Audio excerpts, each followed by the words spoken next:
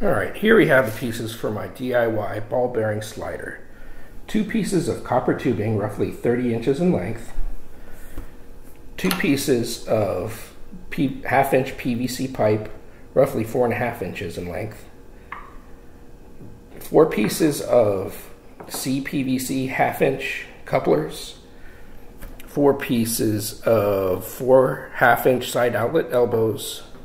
Your wonderful Frugal Filmmaker table dolly, and the key to this whole thing, four 16 millimeter linear bearings. All right, let's start off by taking off the wheels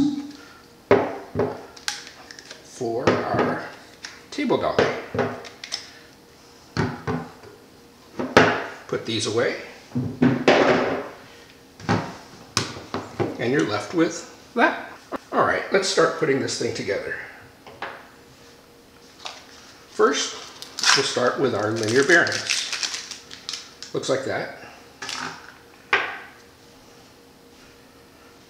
Unfortunately, they do not fit perfectly into the slider base. It's a little bit loose. So what I did is I took some good old electrical tape wound it around exactly twice and then it fits nice and slug, snug with some friction. Do that to all four of your linear, linear bearings.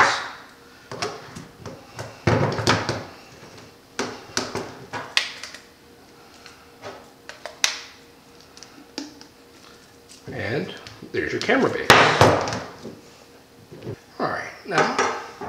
Let's get our rails together. Unfortunately, they do not fit into the side elbows perfectly. That's where our CPVC pieces come in. Let's go ahead and put that on the end of one, and then do the same thing to the second one.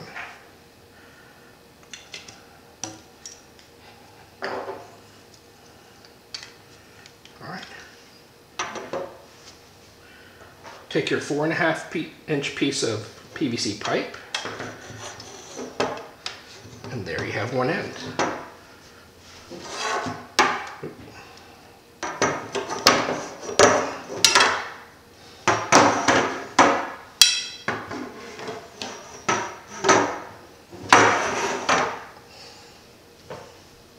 Now, before you assemble the other side, slide on your rails, or slide on your your camera base.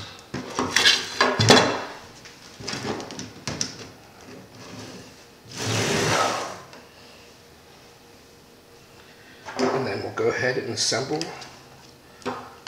the other end. Get your couplers on.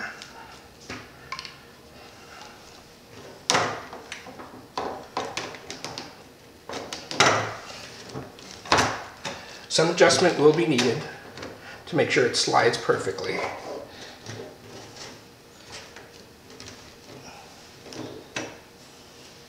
There you have it.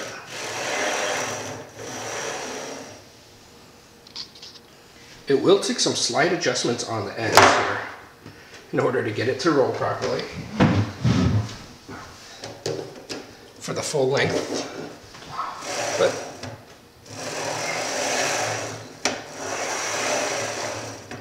I still have to make some more adjustments, but essentially that's what it is. And hopefully you end up with something that looks something like this.